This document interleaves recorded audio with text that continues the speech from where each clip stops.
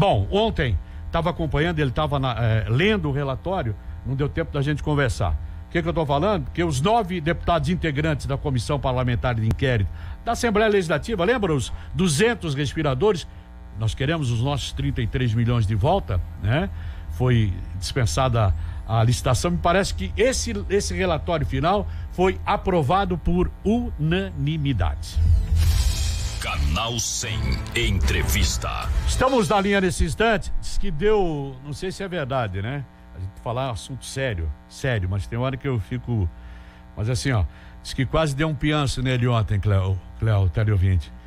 Lê o relatório, né? Foi um relatório muito bem feito, diga-se de passagem. Estou na linha nesse instante com o deputado Ivan Artes, que é o relator da CPI dos respiradores. E a minha primeira pergunta, deputado Ivan Artes, eu falei isso na abertura do programa. É, o que que aconteceu? Foi aprovado, responsabilidades. Agora sim, ó, teve gente graúda também é, nesse nesse relatório ou não? Prazer tê-lo, ouvi-lo no canal 100 da Rádio Menina. Boa noite, tudo bem, deputado? Boa noite, Tigrão. Boa noite, ouvintes da Rádio Menina. É, o livro foi escrito ontem, ontem o último capítulo, né, dessa tragédia chamada 200 a compra de 200 respiradores em Santa Catarina.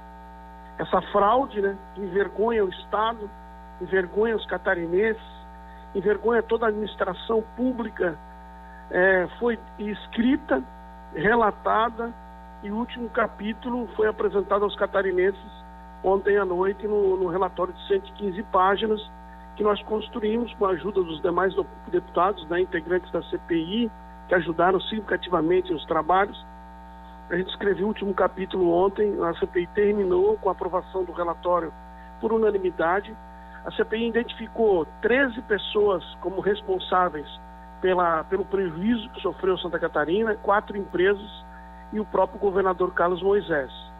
Então, as razões desses entendimentos, os fatos, como aconteceram, um a um, ah, foi identificado por que, que cada um desses três elementos eh, são considerados responsáveis pelo prejuízo.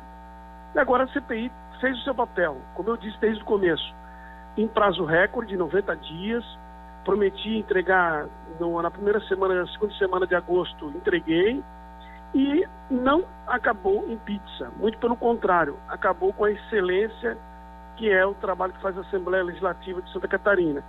Pela primeira vez na história, os catarinenses puderam acompanhar passo a passo o que aconteceu, a narrativa, e agora né, o, o relatório foi publicizado e a gente está responsabilizando essas pessoas pelo prejuízo. Agora vai depender do Ministério Público, né? Processar essa gente, botar essa gente na cadeia, tomar o patrimônio deles, processar esse pessoal de todas as maneiras, tirar o serviço público dessa gente e mandar esse tipo de gente para o lugar que eles merecem, né? Para o Chilindró, que é o lugar de quem rouba dinheiro público. Pessoas é, é, responsabilizadas, por exemplo, tanto na esfera criminal como também na, na esfera administrativa, nesse relatório, deputado? Sim, é, nós identificamos algumas pessoas que têm participação criminal direta, né? É, não foi possível tipificar o crime de cada um por ordem de uma lei de abuso de autoridade, agora tem a lei de abuso de autoridade, né? É que quem investiga está sendo investigado pelo réu. Então, o, cara que, que desviou dinheiro público, que roubou os catarinenses, ele tem um monte de direitos, sabe?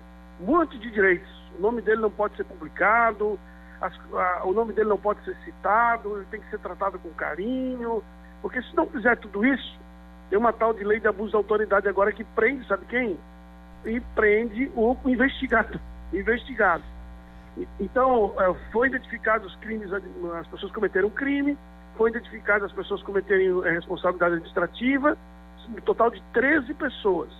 E o nome delas está anotado nesse relatório. A maioria delas, pessoas que estão e teriam a obrigação, né? Obrigação de cuidar do dinheiro público e não cuidou. Tinha a obrigação de fiscalizar e não fiscalizou. Tinha a obrigação de ajudar a proteger os catarinenses e não protegeu. A maioria das pessoas foi nesse sentido. Foi um esquema armado dentro da Secretaria da Saúde, junto com o crime organizado, que permitiu esse prejuízo de 33 milhões de reais. E todas as pessoas foram identificadas no relatório. É, o que eu disse aqui no, no início do programa é que eu estava curioso com relação a esse relatório, porque até fiz uma indagação. Será que é, no relatório incluídos aí é, gente grande, né? Tipo peixe grande, um dourado ou só piavinha da, da cola amarela? Mas então, douradão, te, maioria Teve douradão, douradão aí também, é, Ivan? É, daqueles gulosos, né? Daqueles gulosos mesmo. Tem que botar dois anzol assim na sardinha, né? Sei, pra, pra grudar.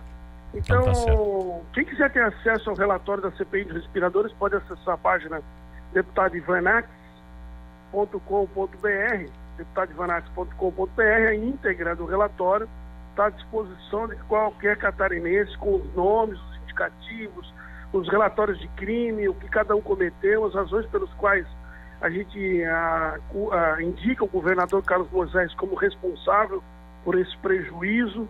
Está tudo lá certinho. Perfeito. Até porque, quando tu falou, se a gente falar o nome aqui, nós, nós vamos ser processados. Eu fico pensando, né? A, como é que é? A lei. No Brasil é assim, né? Protege não, mais não. bandido do que a pessoa de bem. É, e é uma verdade. É, uma verdade. Ninguém... A lei, a lei grão nesse país é feita é para proteger pilantra. É verdade. A, a, a, a, gente, quando tem oportunidade, eu falo isso com tristeza, porque sou deputado. Eu também. Lamentavelmente, deputado estadual. Não posso estar lá é. em Brasília, porque é lá que faz a sacanagem. Mas nós temos que começar a fazer pressão daqui de, de baixo lá em cima neles, tá? Por isso nós preparamos também uma alteração à legislação federal, vai ser entregue ao, ao, ao, ao presidente do Senado, ao Columbre e ao Rodrigo Maia, para alterar a lei de licitações, criando regras específicas para esse tipo de processo. Isso. E punindo.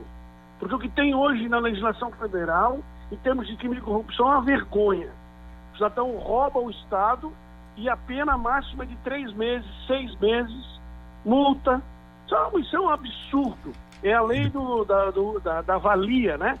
Verdade. olha, ele só vale a pena roubar porque se eu for pego, você pega falei, é difícil. Falei, se eu falei pego, isso. Não vou falar o nome. Falei isso ontem. No Brasil então, é isso. O pessoal da Lava Jato tá tudo é. todo, Tigrão. Verdade. Falei isso ontem. O pessoal da Lava Jato tá todo mundo em casa essas pessoas que roubaram os 30 milhões dos catarinenses, 33 milhões, estão em casa.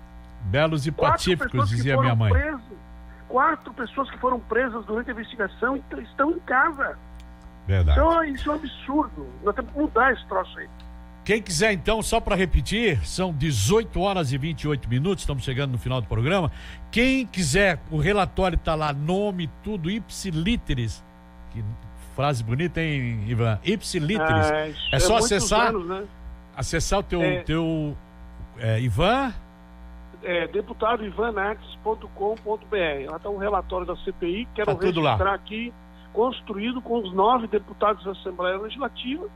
Aí agora ficar, ficar vigilante, cobrar, cobrar, cobrar, cobrar, cobrar do Ministério Público, do Poder Judiciário, que ele, que ele faça parte deles porque o Ministério Público agora ficou responsável de correr atrás dessas pessoas e, e, e fazer a, lei valer. Né? Deputado Ivan Nats, prazer te ouvir aqui mais uma vez. Obrigado pelas informações prestadas, edição do canal 100 da Rádio Menina. TV Mocinho, um abraço, uma boa noite. Boa noite, Tigrão. Como diz o nosso presidente Bolsonaro, missão dada, missão cumprida, relatório entregue, agora papel com o Poder Judiciário. Um abraço a todos vocês aí. Fique com Deus. Este é o Canal 100.